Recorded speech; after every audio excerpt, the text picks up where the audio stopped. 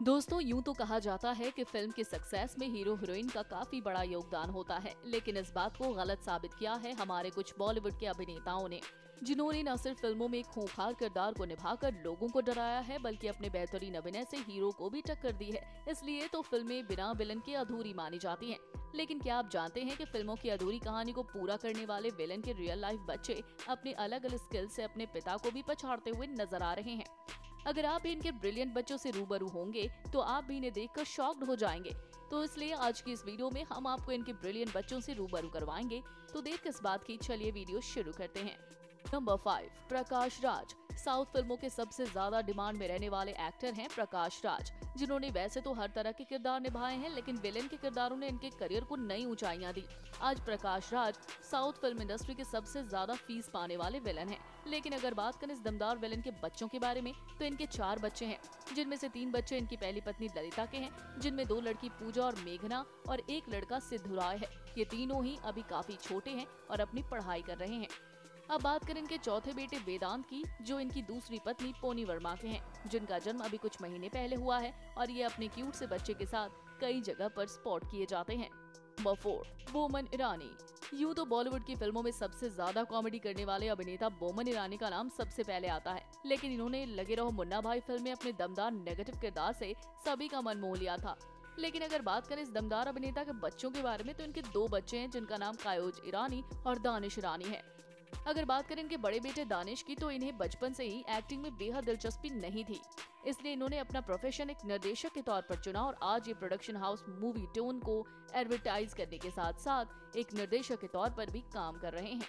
वही बात करें इनके छोटे बेटे कायोज ईरानी के बारे में तो वो भी एक अभिनेता है जिन्होंने कई फ़िल्मों में काम किया है, जिनमें से इनकी कुछ फ़िल्में हैं the legend of Michael Mishra student of the year और यंगिस्तान नंबर थ्री अमजद खान दोस्तों, अगर आपने बॉलीवुड की ब्लॉकबस्टर फ़िल्म शोले देखी होगी तो आपको गब्बर सिंह का किरदार निभाने वाले अभिनेता अमजद खान तो ज़रूर याद होंगे, जिन्होंने अपनी खतरनाक एक्टिंग से दर्शकों का ध्यान अपनी तरफ़ खींच लिया था। भले ही आज हमारे बीच न हो, लेकिन दर्शक आज भी इनके किरदार को भूल नहीं पाए हैं। लेकिन अगर बात करें इस अभिनेता के बच्चों के बारे में तो इनके तीन बच्चे हैं, जिनमें दो बच्चे शादाब खान और समीब खान हैं, और बेटी का नाम अहलम खान है। अगर बात करें इनके दोनों बच्चों के बारे में तो शादाब खान एक अभिनेता है, जिन्होंने राजा की आएगी बारात, बेताबी और रिफ्यूजी जैसी फ़िल्मों में बतौर सहायक अभिनेता काम किया है। वह इनके छोटे बेटे समीब खान एक क्रिकेटर हैं, जो मुंबई में होने वाली लीग कांगा क्रिकेट लीग के लिए खेलते हैं। अब बात करते हैं इनकी बेटी अहलम खान की तो इन्हें भी बचपन से ही एक्टिंग में काफ़ी दिलचस्पी रही है, जिसके चलते इन्होंने अपनी पढ़ाई के साथ साथ थिएटर में भी काम किया है और जल्द ही ये बॉलीवुड में अपना डेब्यू करने वाली हैं। नंबर टू आशीष विद्यार्थी। बॉलीवुड से टॉलीवुड में अपने दमदार खलनायकों की भूमिका निभाकर सफल हुए अभिनेता आशीष विद्यार्थी ने फ़िल्मों में अपनी दमदार प्रदर्शन से एक अलग पहचान बनाई है।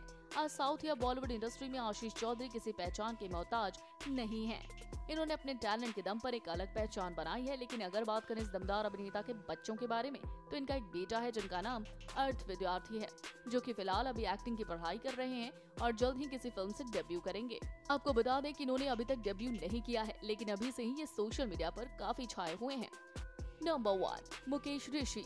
Bollywood industry से लेकर साउथ इंडस्ट्री में अपने खूंखार विलन की छवि बनाकर प्रसिद्ध हुए अभिनेता मुकेश ऋषि ने अपने करियर में ज़्यादा से ज़्यादा विलन के रोल किए हैं और खूब नाम कमाया है।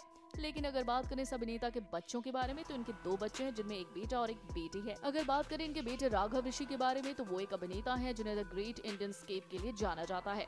आपको बता दें कि इन दोनों के रिश्ते में काफ़ी अच्छी बॉन्डिंग है, जिसके चलते दोनों के बीच किसी बात पर मतभेद नहीं होता। अब बात करते हैं इनकी बेटी के बारे में। तो इनकी बेटी अभी पंद्रह साल की है और धीरू भाई अम्बानी स्कूल से पढ़ाई कर रही हैं, लेकिन सोशल मीडिया पर काफ़ी एक्टिव रहती हैं, जहाँ ये अपनी और अपनी फैमिली की फ़ोटोज़ शेयर करती नज़र आती हैं। तो दोस्तों, आपको इन अभिनेताओं में से किस अभिनेता का फ़िल्म में विलन का किरदार सबसे बेस्ट लगता है? आप हमें उनका नाम कमेंट बॉक्स में कमेंट करके ज़रूर बताएँ, और साथ ही बॉलीवुड इंडस्ट्री से जुड़ी ऐसी मसालेदार खबरों को जानने के लिए आप हमारे चैनल को सब्सक्राइब करना ना भूलें।